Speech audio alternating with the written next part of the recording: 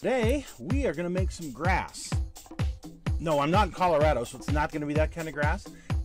It's our techniques that are so simple and sensible, your models would practically build themselves.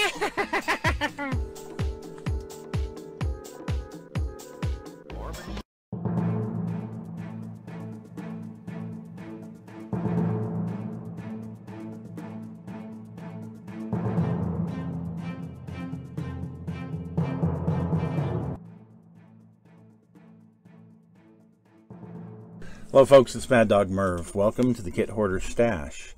Today I've got another resin kit. Um, I did a resin car not too long ago and actually have been doing a build on that. Uh, that's going to be on the MRS website when they get things back up and running again and you'll have to check that out. That's pretty neat. This one I pulled out of my stash because not too long ago I bought a Japanese tank, a Ha-Go tank in 135th scale. And here is a 135th scale Imperial Japanese Army tanker from World War II. This is a good old Verlinden kit. So this thing is very old. Let's check this thing out, shall we? It's going to be uh, pretty simple, I'm sure. okay, so no instructions. Just so you know, you got to go by the picture. And here's the little baggie. Mm. Guess I'm going to have to cut the widow baggie. Hermetically sealed and placed on Funk and Wagnalls' porch since noon today. Okay. Well, here's the parts breakdown. We got a couple of heads. You got one guy uh, with a helmet. Uh, there, make, see if that makes it easier. One guy with a helmet and one with just like a bandana, uh, headband, sweatband, whatever you want to call it. And here's his breeches. Big old block we're going to have to cut off of there, but that's fine. And here is a left arm with a glove. And here is a right arm with a glove. And it looks like he's holding something. Don't know what, but he's holding something. Um, a knife. It's certainly not big enough to be a sword, but yeah, a knife, you know. It's hard to see. Um, and here's the lower legs with the chews and the wrappings around the legs there. And finally, the upper torso, his chest and it's got a molded in like knapsack um, on his back there. So um, that's it.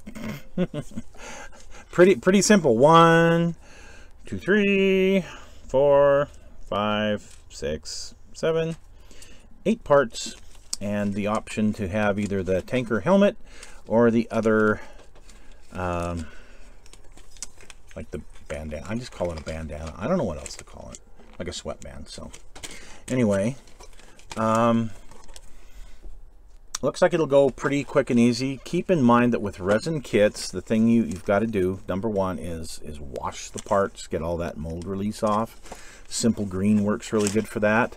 Um, also, just dish detergent and water works good for that as well.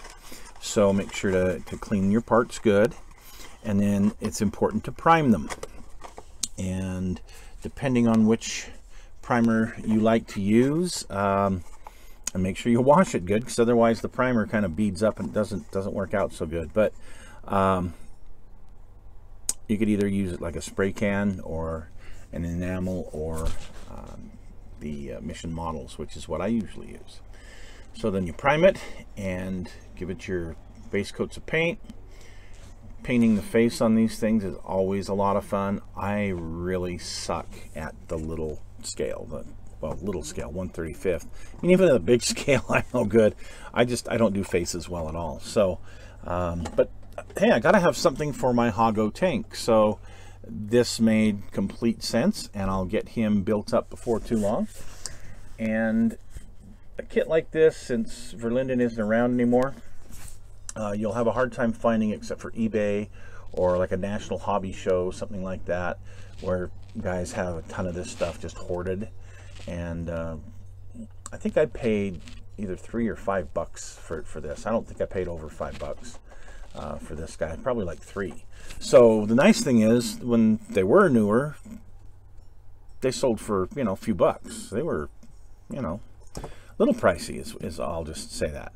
Uh, now, pick them up dirt cheap if you can find them. So, anyway, thanks for joining us. We'll see you again next week with some other weirdness. Thank you.